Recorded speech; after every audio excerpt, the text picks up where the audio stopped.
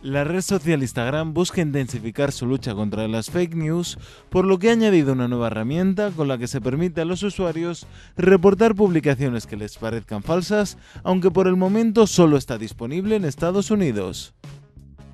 Desde esta semana las personas pueden hacer saber si creen que las publicaciones que ven en Instagram pueden ser falsas a través de una nueva herramienta.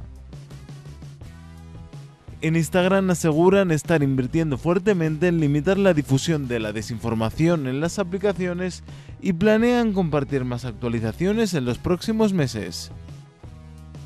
La nueva función busca limitar las publicaciones con información falsa o dudosa, un aspecto que no está prohibido por las políticas de contenido de Facebook.